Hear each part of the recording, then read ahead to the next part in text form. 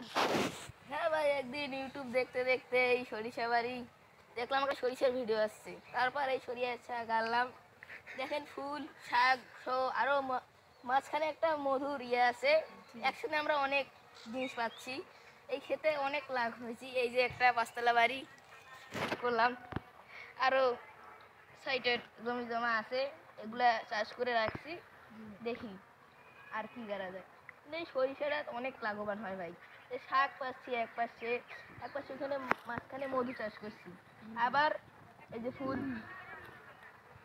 তেল, সরিষা, নানা ধরনের জিনিস পাচ্ছি ভাই। এই জন্যে অনেক লাভবান। দেখলাম সরিষা বাড়ি। এই সরিষা এই সরিষা বাড়ির মালিক হাবিব ভাই, এনার সাথে অনেকক্ষণ আমরা কথাবার্তা বললাম। এনাকেও ধন্যবাদ, যারা দেখতেছেন তাদেরকেও ধন্যবাদ।